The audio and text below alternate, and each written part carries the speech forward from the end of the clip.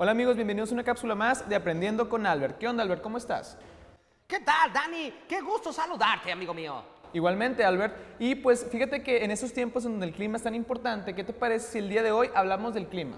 Pero claro, Dani, con mucho gusto. Y bueno, la duda del día de hoy está relacionada con los huracanes como Katrina, Ingrid y Alex. Albert, ¿tú sabes cómo les ponen los nombres a los huracanes y quiénes lo hacen?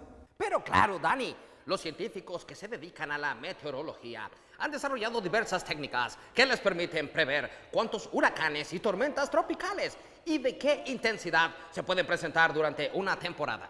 De hecho, los especialistas ya saben cómo llamarán a los huracanes y tormentas que ocurrirán en los próximos seis años, Dani. Órale, Albert. Oye, pero ¿cómo les ponen los nombres de las personas?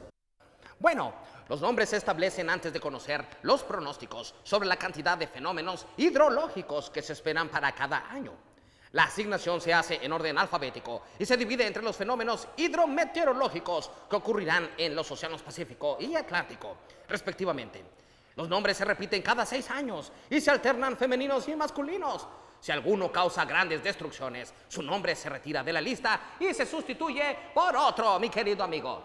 Ah, ya entiendo. Entonces, si un huracán es muy destructivo, se quita de la lista y se le cambia el nombre. Pero, ¿cómo cuáles? Ah, pues como por ejemplo Hugo, que afectó Puerto Rico. Andrew, que afectó Estados Unidos. O Katrina en el 2005, el cual causó 2.000 muertes. Su nombre ha sido sustituido por Katia. Órale, Albert. Oye, pues también es importante recordarle a sus amigos que en épocas de huracanes hay que extremar precauciones. Por supuesto, Dani. La prevención nunca estará de más. Hasta pronto, amigos.